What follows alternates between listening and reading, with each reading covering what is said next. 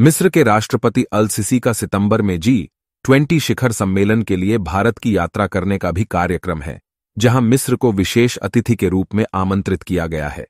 प्रधानमंत्री नरेंद्र मोदी को रविवार को मिस्र के राष्ट्रपति अब्देल फतह अल सिसी ने मिस्र का सर्वोच्च राजकीय सम्मान, ऑनर्डर ऑन ऑफ़ द नाइल से सम्मानित किया। यह तेरहवां ऐसा सर्वोच्च राजकीय सम्मान है, जो दुनिया भर के विभिन्न देशों ने पीएम मोदी को प्रदान किया है।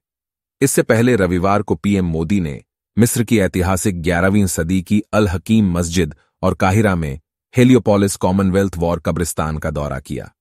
पीएम मोदी ने मिस्र के राष्ट्रपति से भी बातचीत की। गौरतलब है कि मिस्र के राष्ट्रपति के न्यौते पर ही पीएम मोदी मिस्र पहुँचे हैं।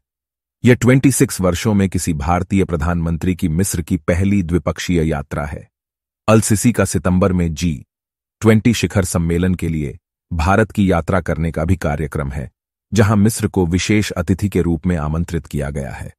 बताते चलें कि इमाम अल हकीम बी अम्र अल्लाह मस्जिद मिस्र की राजधानी काहिरा के मध्य में लगभग 1000 साल पुरानी इमारत है।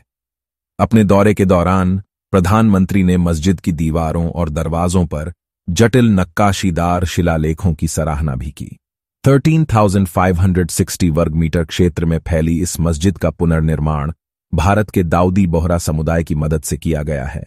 उन्होंने 1970 के बाद इस मस्जिद का जीर्णोद्धार किया और तब से इसका रखरखाव कर रहे हैं। हेलियोपोलिस युद्ध कब्रिस्तान में पीएम मोदी ने प्रथम विश्व युद्ध के दौरान शहीद हुए भारतीय सैनिकों को श्रद्धांजलि दी।